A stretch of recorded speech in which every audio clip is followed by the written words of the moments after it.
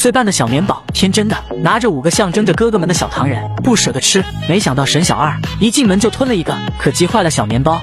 我二哥没了，就只有一个二哥的，我都不敢舔一下。二哥把二哥一口就吃了。乖孙女，你先自己玩，爷爷手头事忙完就陪你玩。沈小六把抱在怀里的粉色小兔公仔往爷爷的办公桌上一放，非常认真的说道：“爷爷，爷爷，我帮您干活。”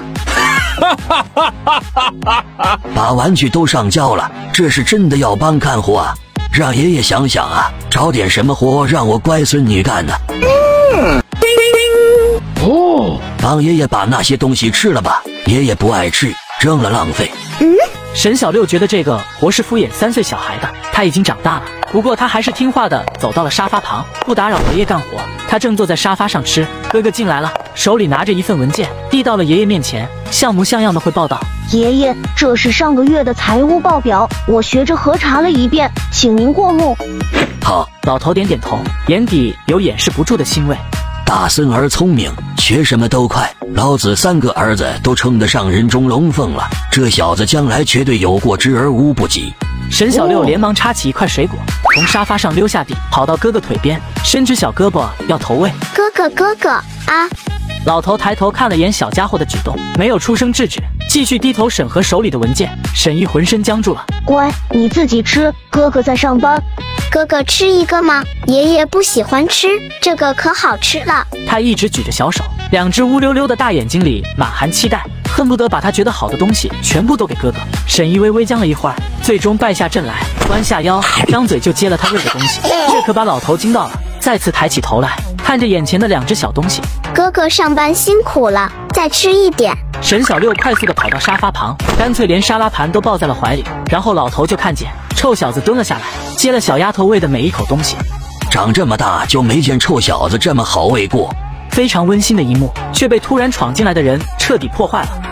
老舍，老嘴刚从你家过来，听说你又把宝贝孙女带来上班了。沈老爷子暗道不妙，老土匪来了，可是已经来不及藏宝贝孙女了。沈毅连忙站起身，略显尴尬的招呼道：“方爷爷好。”棉宝看着进来的人想了想，他去过这个爷爷家，也礼貌的招呼道：“方爷爷好。”好好好，这么聪明的孙儿，两个都是沈老东西的，你说气人不气人？分我一个也好啊！老子下午忙，不招待你。以后没有预约，别往老子公司跑。哼，谁稀罕你招待？我来找孙女下棋的，乖孙女，跟爷爷切磋两盘棋好不好啊？沈小六有一段时间没下棋了，有点想玩了，礼貌的点头道：“好的。”方老爷子像在自己家似的，拉着小丫头就朝着会客室走去，里面围棋、象棋都有。他时不时的跑过来跟沈老东西玩几盘。现在有了这么个小宝贝，谁还稀罕跟沈老东西切磋呀？沈老头坐不住了，蹭的一下站起身，跟了进去。这是老子的孙女，老土匪，注意你的措辞。好好好，你的你的。老土匪敷衍着应了句，然后自言自语的嘀咕道：“丫头长大，迟早是我家的。”两个爷爷看起来很不和睦的样子。而接下来，沈小六在棋盘上就把两个爷爷揍成了好战友。本来一开始爷爷是站在他身后观战的，还帮他喊口号：打倒老土匪，打倒方老资本主义。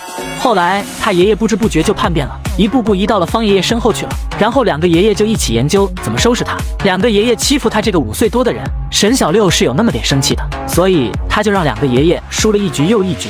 五点半准时下班，回到家后，绵绵小姐，这是你中午点的五个小哥哥。我做好了。沈小六一看盘子里的东西，竟然是很可爱的五个小人，每一个都用小竹签串着的。呀，阿姨，这是什么呀？是小糖人了，不过要晚餐后才能吃，一天只能吃一个。今晚睡觉要好好刷牙哦。哥哥他们有吗？都有，都有，这些全部是给你的。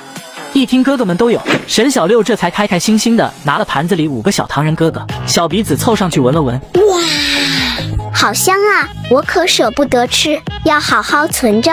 他仔细认了认，五个都一样，但是有高有矮，而且还编了号一二三四，四和五一样高，那就是四哥五哥了。他正拿着编号为一二的小糖人比身高，沈小二单肩挂着背包窜进了屋。沈小六万分欣喜的举着手里编号为二的小糖人说：“二哥，二哥，这个小糖人是二哥。”嗯，沈小二凑近一看，靠，好丑啊！于是他张嘴就是一口，小唐人脑袋没了。沈小六一下愣住，等反应过来，眼眶忍不住就红了一圈，开口嗓音都有了点哭腔。二哥，二哥，我的二哥没了。